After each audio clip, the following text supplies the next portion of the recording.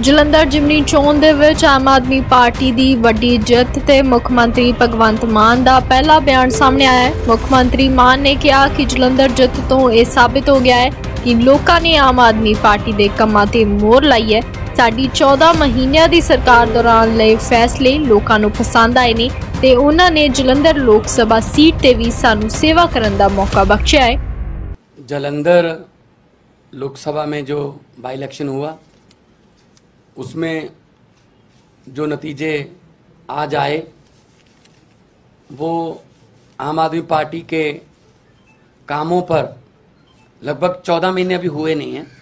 सोलह मार्च को हमने ओथ ली थी। सोलह मई को चौदह महीने होंगे। तो लगभग चौदह महीने पुरानी सरकार के कामों पर पॉजिटिव मोहर लगाना बहुत बड़ी बात है।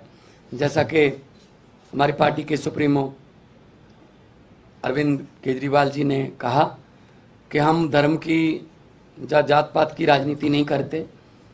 हम मोहल्ला क्लिनिक गिन, गिना रहे थे जो आम आदमी क्लिनिक हमने पंजाब में बनाए हैं 580 हम वहाँ स्कूल ऑफ़ एमिनेंस की बात कर रहे थे स्कूलों के नाम पे वोट मांग रहे थे। हम वहाँ पर बिजली का बिल ज़ीरो जो आया उसको आगे कैसे लेके जाना है ऐसे ही ये जारी रहेगा उसके लिए बिजली जो हमारा P S P C L है, उसका बजट हमने जो पे कर दिया, उस पर वोट मांग रहे थे। हम इंफ्रास्ट्रक्चर से जो है, उसके नाम पर वोट मांग रहे थे। हम व्यापारियों से बात कर रहे थे, किसानों से बात कर रहे थे, मजदूरों से बात कर रहे थे। हर एक की भलाई की बात कर रहे थे, इसीलिए ये बहुत ही अच्छी बात है कि लोग पॉजिटिव राजनीति को पसंद करने लगे। ये शुरुआत दिल्ली से हुई थी।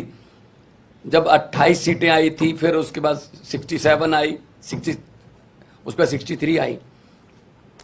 तो अरविंद केजरीवाल जी ने जो काफिला शुरू किया था रामलीला ग्राउंड से, वो आज एक नेशनल पार्टी के रूप में बहुत बड़ा बन गया है। 92 एमएलए हमारे, पंजाब की विधानसभा में 63 एमएलए हमारे दिल्ली की विधानसभा में पाँच एमएलए हमारे, गुजरात की विधानसभा में दो एमएलए हमारे, गोवा की विधानसभा में दस एमपी हमारे राज्यसभा में और आज के बाद एक एमपी हमारा लोकसभा में है। तो नेशनल पार्टी बनने के बाद कोई ऐसी संविधानिक संस्था नहीं है जिसमें हमारा योगदान या हमारा हिस्सा ना हो। ये सब आम आदमी पार्टी की टीम, जो वॉलंटियर, जो अपने जेब से खर्चा करके घर से निकलते हैं और निकल के काफले के रूप में एक बड़ा रोड शो बना देते हैं तो ये उनकी जीत है। तो जब बानवे सीट जीतकर मुख्यमंत्री का मुझे दायित्व दिया था, अरविंद केजरीवाल जी ने मुझ पर भरोसा किया था, तब भी मैंने यही कहा था कि जीतने के बाद हमको अहंकार नहीं करना है, अभी तो हमारी ज़िम्मेदारी बड़ी है और ज़्यादा मेहनत से काम करना है। अब जलंधर वालों ने इतना मान सम्मान किया, जलंधर वालों ने इतना भरोसा किया, उम्मीद और उम्मीद आस जगी है तो हमको और जिम्मेवारी से काम करना होगा। जलंधर को कैसे चमकाना है और हमारे पंजाब के शहरों को कैसे हमने चमका के पूरे देश में हमारे स्टेट को नंबर वन बनाना है, ये हमारा अगला मकसद है। रंगला पंजाब, कलरफुल पंजाब जो हमारा टीचर है, उसकी तरफ़ हम बढ़ रहे हैं। आज जब जीत हुई, मेरा हौसला बहुत बढ़ गया, क्योंकि हम लोग जब जा रहे जा, जाते थे अरविंद जी रोड शो में जाते हम यही लोग लोगों को कहते थे कि 11 महीने की इलेक्शन है। अगले साल इन दिनों में फिर कोड लगा होगा। 2024 की इलेक्शन हो चल रही होगी। बल्कि मार्च में ही लग जाता है मार्च के एंड में। तो 10-11 महीने हमारे एमपी को मिले हैं। लेकिन 10-11 महीने में ही हम इतना काम करेंगे कि अगली बार हमको हाथ जोड़कर वोट ना मांगने पड़े। अगली बार हमारे काम और कामों के आधार पर जितना हमें समय मिला, पार्लियामेंट में जलंधर की आवाज़, पंजाब की आवाज़ बन के गूंजेगी, ये मुझे उम्मीद है। और आज लगभग साठ हज़ार मतों से जीतना और बाकी सभी इकट्ठे थे। ये बीजेपी, अकाली दल, बीएसपी, कांग्रेस, ये सब इकट्ठे थे। इनकी पीसी अलग अलग होती थी बस एक एक घंटा। पीसी में गैप होता था, कंटेंट सेम ही होता था, एक दूसरे को देते थे कि ये अब तुम ले जाओ, ये गालियाँ मैंने दी हैं, ये अब तीन बजे दे देना, वही गालियाँ चार बजे वो देते। थे तो ये इकट्ठे मिलके लड़े।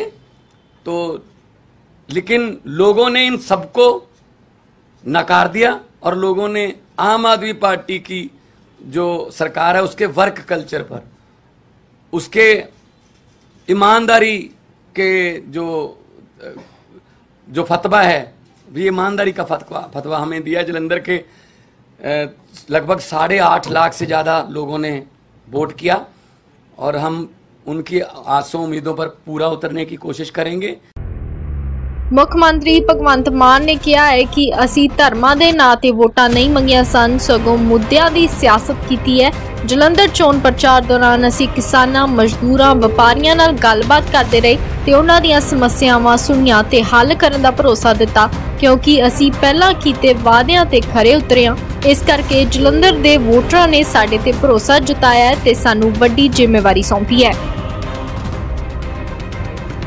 ਜਲੰਧਰ ਤੋਂ ਬਿਊਰੋ ਰਿਪੋਰਟ NC7 ਨਿਊਜ਼।